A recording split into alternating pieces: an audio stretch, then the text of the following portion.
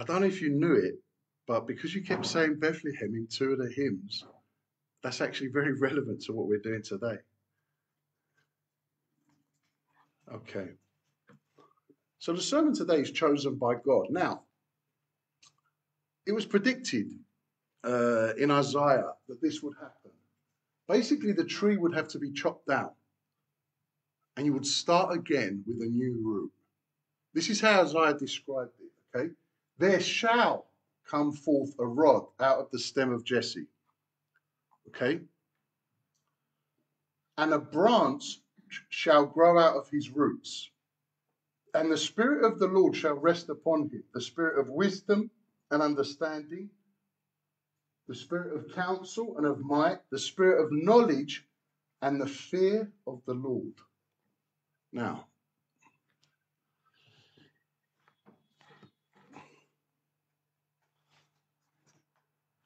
yeah, it worked.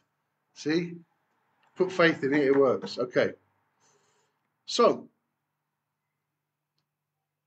what was the point of this new root that was going to come?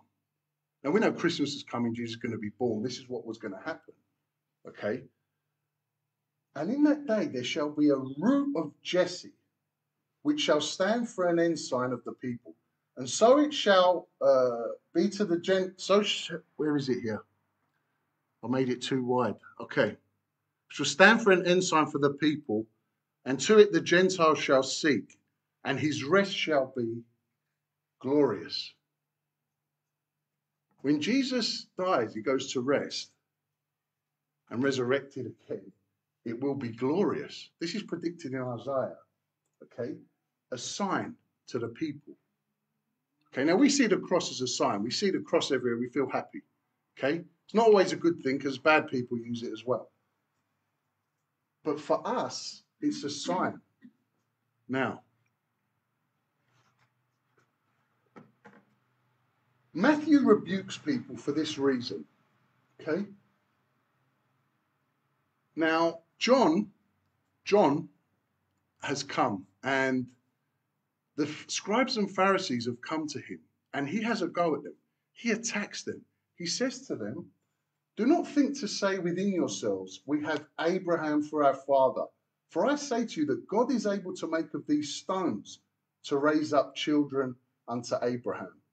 And now also the axe is laid to the root of the trees, all the way to the bottom. Therefore, every tree which bringeth not good fruit is hewn down and cast into the fire. If I don't see any good in you, it's not Mario speaking. This was John speaking to the scribes and Pharisees.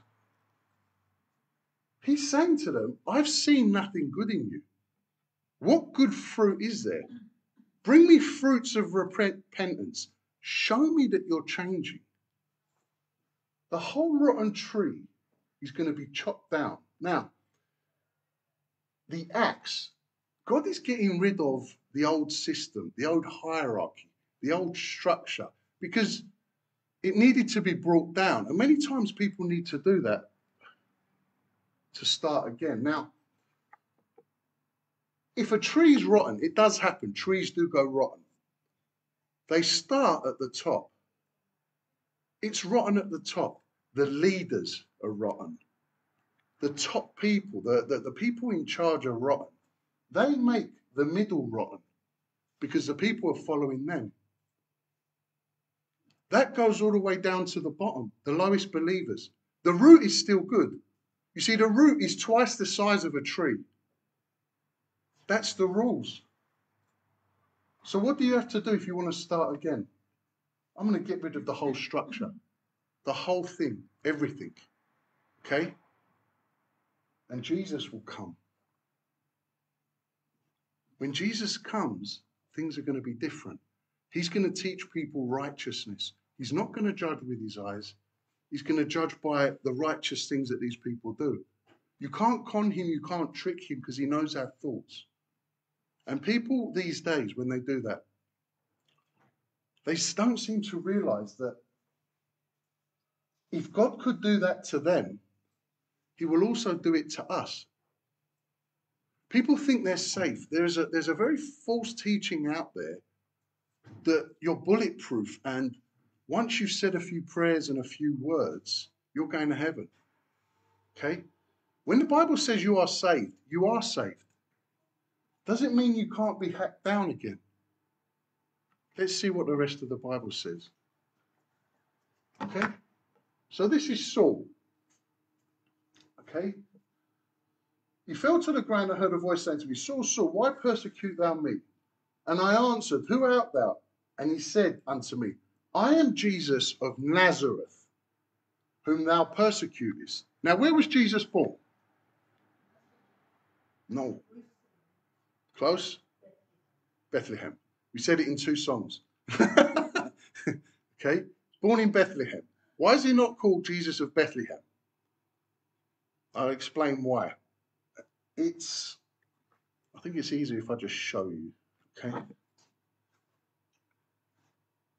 Come on, work just for one week. I always found it puzzling why he's identified as Jesus of Nazareth, and, and the film called him Jesus of Nazareth, things like that. Nazareth derived from the Hebrew word for branch, remember? A new root will start.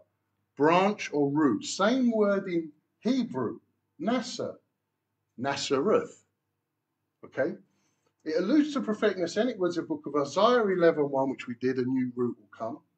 Okay? From Jesse's root, a branch, Netzer, will bear fruit. Okay? Now, and there's a, a branch or shoot. Sometimes when a tree's chopped down, a shoot will grow from the stump. Sometimes. Allowing a new tree to spring up where the old one has died.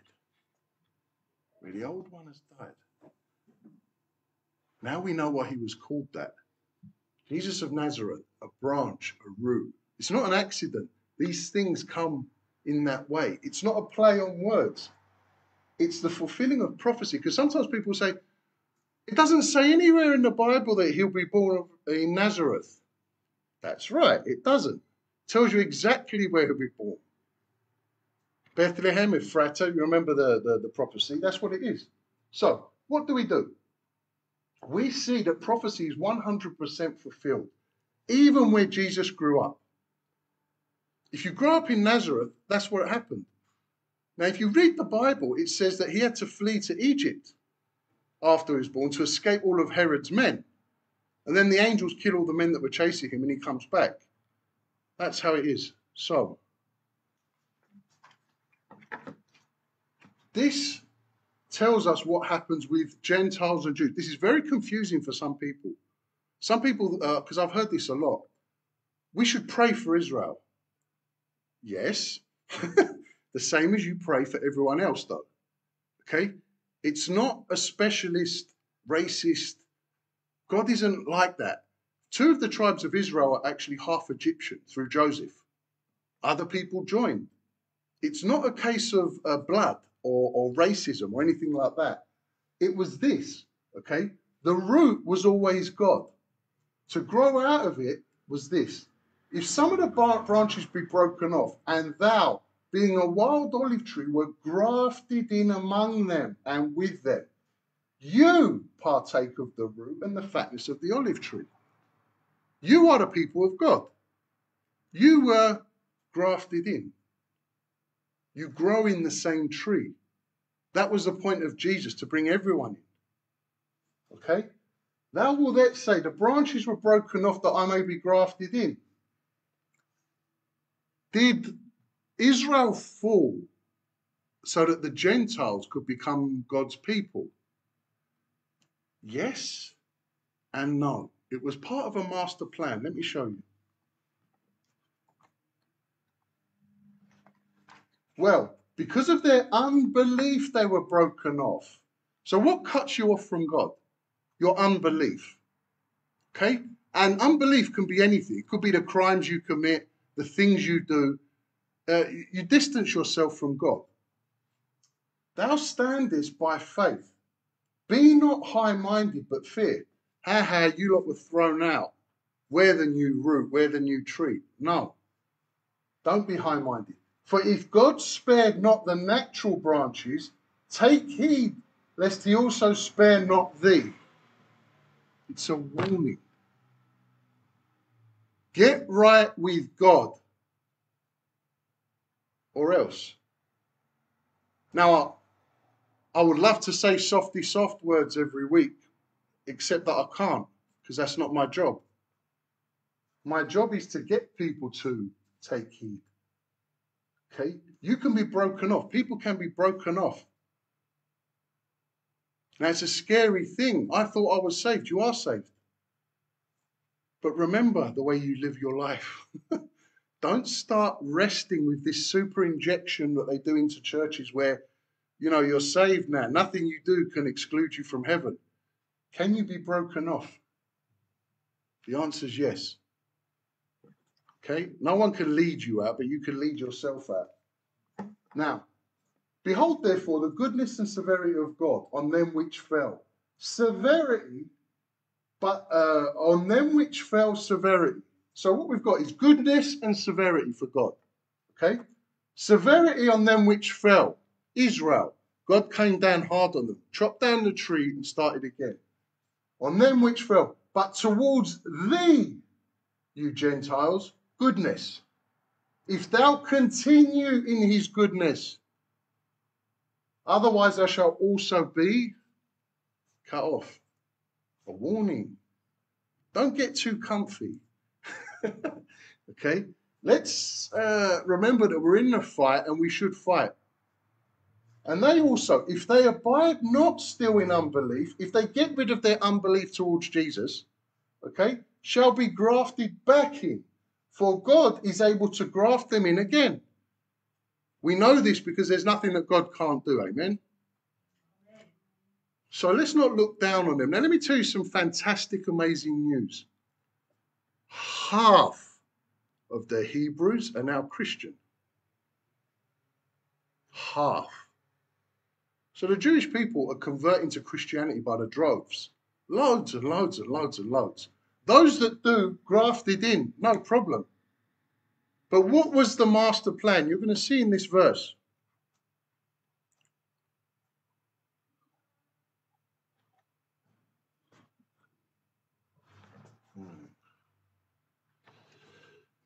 If thou which were, uh, if thou wert cut out of the olive tree, which is wild by nature, okay, you were wild before, and were grafted contrary to nature, you wasn't gonna be saved. Okay? A lot of the prophets they, they came to uh, now it does say that it'll go to the Gentiles. Solomon said it and uh, Isaiah said it in the Old Testament, but there was a few others as well that said it. But generally, generally, the prophets went to the Jews, to the Hebrews. Okay, we were wild at the time. okay, how much more shall these, which be the natural branches, be grafted into their own olive tree? I I would not, brethren, that you should be ignorant of this mystery, lest you should be wise in your own conceit. Boy, this stands for today. that blindness, in part, has happened to Israel until the fullness of the Gentiles be come in. Israel was blinded and turned against Jesus for a reason. It was part of the plan. It always was. It was part of the plan so that the Gentiles come in.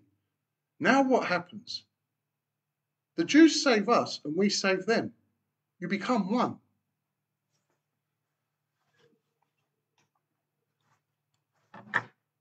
The prediction. All right, we're halfway there on this prediction now, only. Okay? So, all Israel shall be saved. As it is written, there shall come out of Zion the deliverer and shall turn away ungodliness from Jacob. Jesus will get rid of all the things they're doing wrong. For this is my covenant to them, a new deal with the people of Israel, that when, when I take away their sins, okay, I'm going to die on the cross for their sins, I'm going to wipe away their sins, and then they could be saved. So, this is a very interesting verse. Now, I've read this many times, but last night it really hit me. As concerning the gospel, they are enemies for your sakes. Very strange words.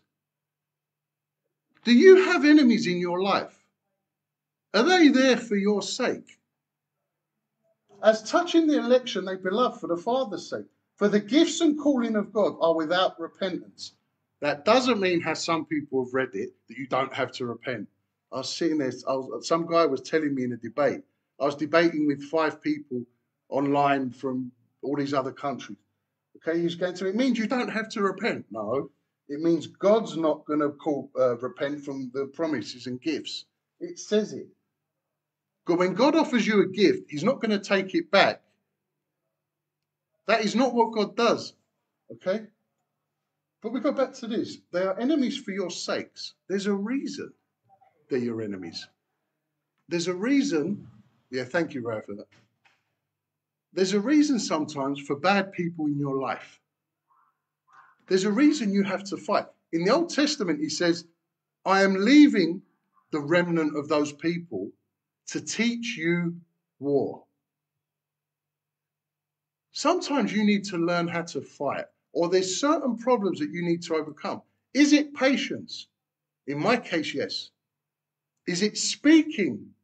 Learning to speak without losing your temper in a calm Christian way. Guilty. Therefore, God will leave those enemies in my life till I learn my lesson. For your sake. Remember what he says to Adam Cursed is the ground for your sake. You doing an honest day's work, you will understand what you lost and what you had. Okay? Cursed is the ground for your sake. Now, uh, okay. For as you in times past have not believed God, Gentiles, people, pagans, things like that, okay? You didn't believe in times past, yet have now obtained mercy through their unbelief. Because Israel messed up, we're okay. We had this opportunity, okay? Even so, these also now believe that through your mercy, you, Gentiles, they are also may obtain mercy. They need you and you need them. Don't fight each other, for God has concluded them all in unbelief, that he might have mercy upon all. We see the master plan of God.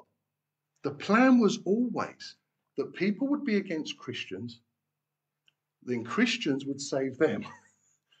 this it was a perfect balance. It was the right way to go.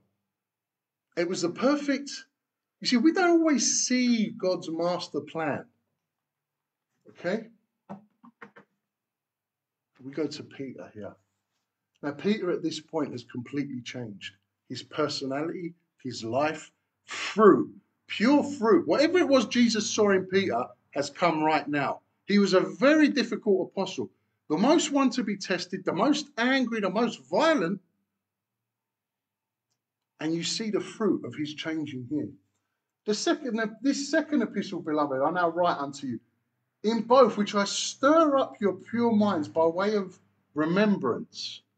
You see, there's a last trick that once you're a Christian, Satan will try and use on you. That you may be mindful of the words which were spoken before by the holy prophets and of the commandment of us, the apostles, of the Lord and Savior. Okay? I want you to remember the actual words. Now, the only way to do that is to read and study the Bible. Okay? There isn't uh, another way. But I want you to remember this, he's saying. And account that the long suffering of our, our Lord is salvation.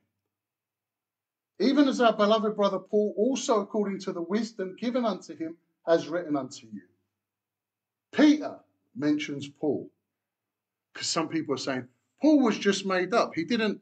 No, if Peter's writing about him, He's there. And if he's saying the wisdom given unto him, he's complimenting it. Don't forget, Paul and Peter have fallen. he says, I withstood him to be to the face because he was to be blamed. Peter and Paul argued. They did not get on. And it was Peter's fault, and he admitted it. Okay?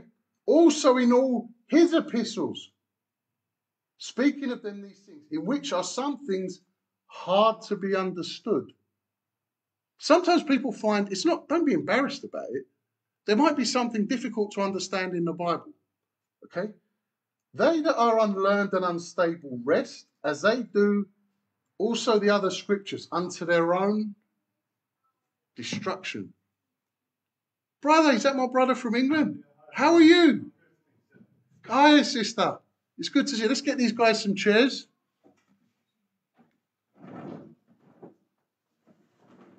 My brother is from Spurgeon's Church, am I right? In the UK. The actual one that Spurgeon. Okay. So what do we do? We account that the long suffering of our Lord is salvation. Is anything else salvation? No. I'm going to save you a lot of reading and time. There is no other way to be saved. Now, people are going to convince you that works will save you, the things you do will save you. It's not true. Attending church will save you, no. Being baptized will save you, no. Jesus, that was it. Okay? He long suffered, and that's our salvation. He took the blame, he did everything. Now, it's also telling you a future prediction. Now, a third of the Bible is warnings and prophecy. That's, that's how important it is. Okay? Warning, warning, warning, warning all the time, the Bible. It's like when, when you're driving, you've got to learn the road signs. You know, this is a warning for this, warning. You know? Here's one of the warnings. Some people find things hard to understand. Who are they? They're people without the Holy Spirit. They simply don't understand the Bible. And there's a lot of them out there. And, and horribly, a lot of them become pastors, you know, self declared pastors. You know, it's a terrible thing because they don't understand the Bible. I've met loads of them.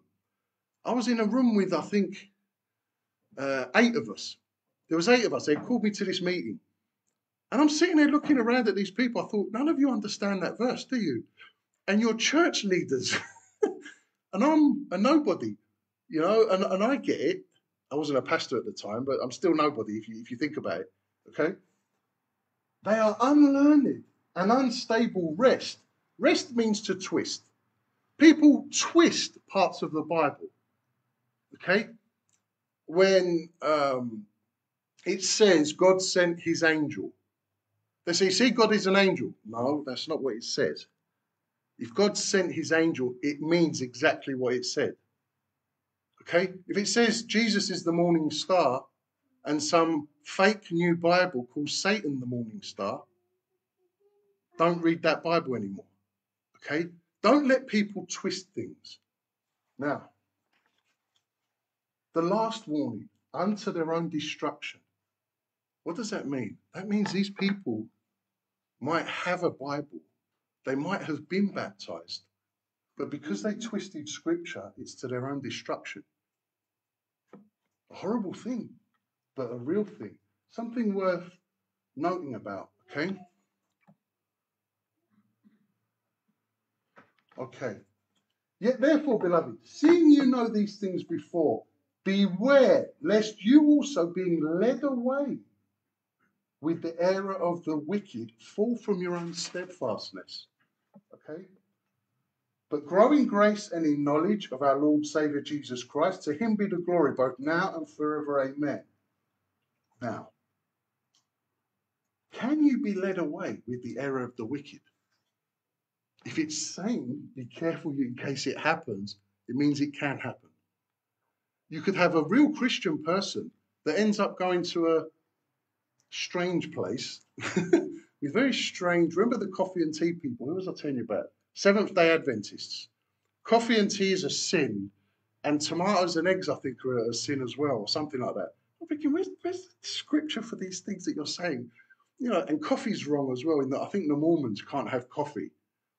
I'm sitting there thinking to myself, don't fall from your own steadfastness. You have a grounding, a strong root. You know the Bible. Don't let anyone derail you because they say they're important and they've, you know, been doing this 50 years. It doesn't matter. I debated a guy, he was one of these JWs, and he was 65 years old. And I'll tell you what happened. I debated a JW in the street. I still do it when I find them. And he couldn't, he couldn't make, he couldn't understand how I was beating him in everything. So he took me to his elder. He calls. If, if you try and beat them, they call their elders. They drive down. I'm the elder, you know. This is what they do. Okay. The elder couldn't answer my questions either. He took me to the top, top JW boy in Cyprus. And he, he says to me, the JW boy, the top guy, says, You really know the scriptures. I thought, if me know the scriptures against you who've been doing it 65 years, what does that mean?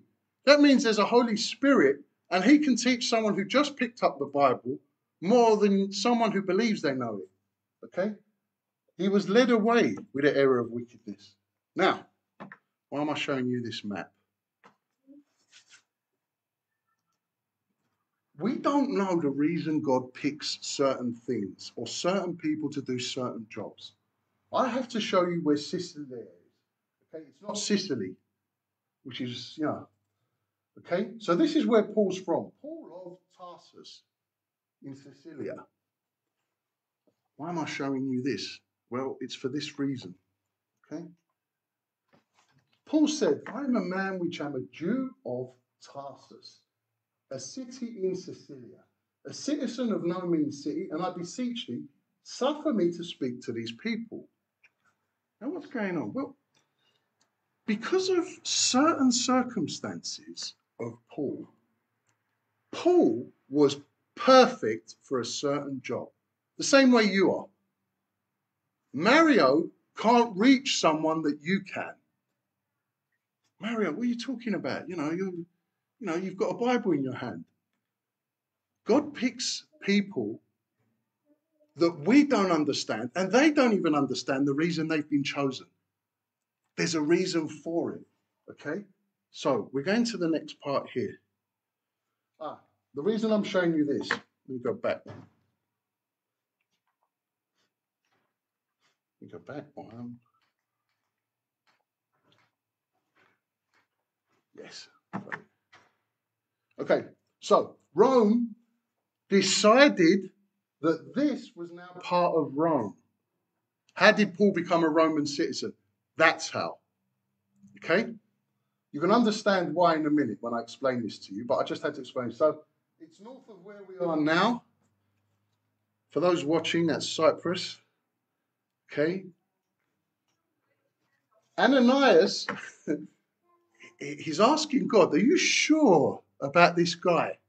Because we're not sure, God. Just in case you don't know, okay, let me explain to you, God, about this guy, Saul, who then becomes Paul.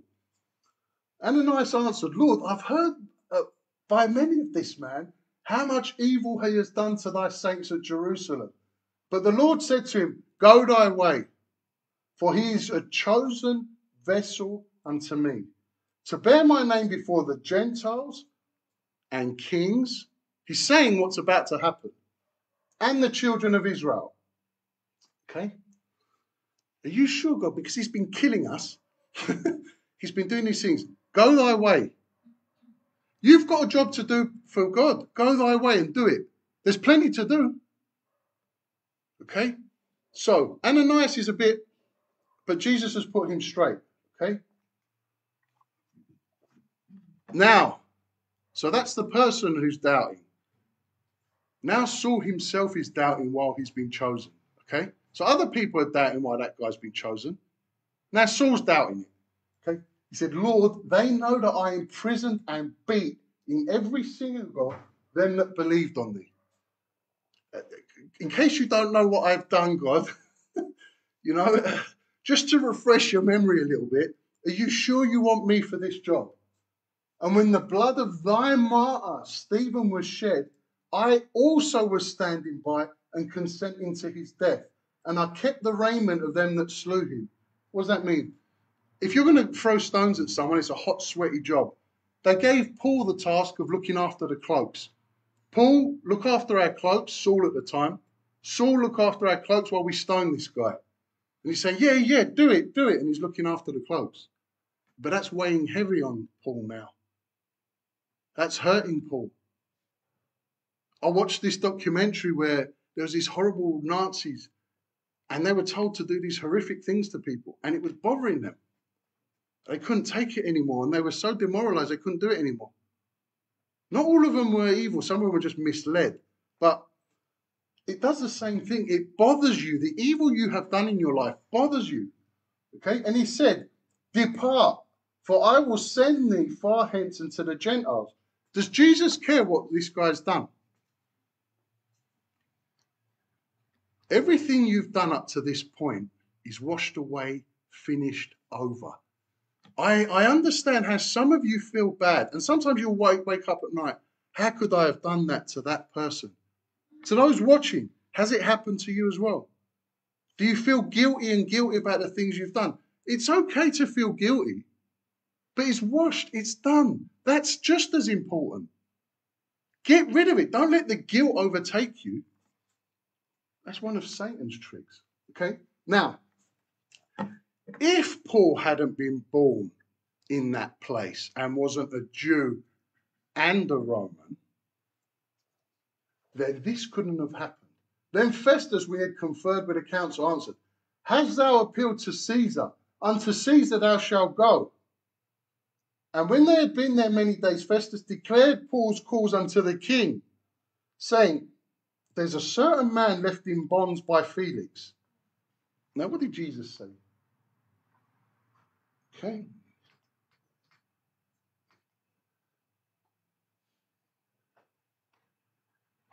He will bear my name to kings. Remember that. And what has he done? He's gone to Caesar and the King Agrippa at the time. I couldn't put it all in, but that's what he's done. So Jesus' prediction was exactly right. I chose Paul for a specific reason because he's the best at that job. Okay? Now, I don't know the exact circumstances of all your lives. I don't. Okay? But what I know is there are certain people that God's going to send into your life because only you could have saved them. And you have to plant that seed. God will water it, but you have to plant that seed. Yeah. And I said, What shall I do, Lord? And the Lord said to me, Arise, have a fight, get up, do something. And the Lord said to me, Arise, go into Damascus, there it shall be told of thee the things which are appointed for thee to do. Does God tell you the reason straight away? No. God doesn't. God doesn't say, I picked you for a certain job straight away. It will become obvious to you when you get there. Now, okay. For thou shalt be his witness unto all men of what thou hast seen and heard. And now, why tarriest thou? What are you waiting for? People, what are we waiting for? Arise, be baptized, wash away thy sins, calling on the name of the Lord. This is what people need to do. Some people are on the floor. I know this has happened to you. It must have happened many times. They come up to you and they go, You know, I've done all these things. I Arise, get up. Your sins are washed away. It's a new day. Don't dwell on the past. It's not so much with you. You worked with kids, didn't you, Adrian? You work with kids. Not so much sin there, I suppose. but you see that there. Okay? Now, I prayed because we've got we've had a lot of Russian people come here and ask me, please, uh, we need a Russian Baptist church. We want a Russian Baptist church. So I'm praying and praying and praying and praying and praying. Please, God, there's got to be one. And he's here at the back. Hello, brother. so, God answers his prayers when he wants, not when you want, firstly. And secondly, he answers them. Now, what will happen? We're going to set a day here where they're going to have a Russian Bible study. Fantastic. Yeah, see how happy everyone is. So we've got that, an answered prayer. Uh, and I think what's the next stage? We've done the tracks as well, Maria. We ordered the tracks as well. So we're, we're making a, a thing. You've probably brought me some more leaflets, right, from your church. Good man. Okay, because people have been taking them. so you see here what's happening. Okay, we're risen and fighting. And when you see someone completely destroyed, pick them up. The way Jesus picks people up. Okay, get them back on their feet and get out there. What will happen is this: there's a, there's a there's a thing in a church, and they think of you as a crutch to keep them up, but they get used to having that crutch. Okay, please, brother, can you pray for me? I've got no problem with that. People uh, call me all the time. Please, brother, let's pray over the phone right now. Okay, fantastic. Let's do that. But make sure that you strengthen them so they can stand on their own. Then your time can be given to other people that need to stand. It can happen. And you can use your media, your Facebooks, your whatever it is you do, okay, to, to, to reach out to those people. You speak Russian? Fantastic. Use that. It's a gift that I don't have, brother. You know, uh, I know a few words. You know, what would you like to drink? What would you like to eat? But that's it. Okay? I'm going to end it there and we're going to pray. But we're going to pray for a certain thing that's in my heart I want you to also pray for what's in your heart. Okay, because you can hear me pray. That doesn't mean that after I finish praying, you can't sit there, bow your head, and pray for what you want. Okay, so let's do that now. Let's pray. My God in heaven, I pray that people wash away their sins, realize they're washed away, and get up and fight for you. I pray that people see through before they're broken off, their branches are broken off. I pray that people change and offer you as an offering their sins. I will not do this anymore. Lord, I pray for strength for the church around the world. I pray for the real missionaries that do your work. I pray for the churches to become one in doctrine and speaking. I pray that people no longer get to twist your words and the beauty and the love and the holiness of the Bible go out into the world. May all glory be to you, my Lord Jesus Christ. Thank you for coming into the world. Amen. Now, for those uh, watching on online, I have to cut the video now because they'll try and copyright the songs that we sing and stuff like this. So please don't be offended. God bless you and thank you for joining us. And Please contact us if you have any questions.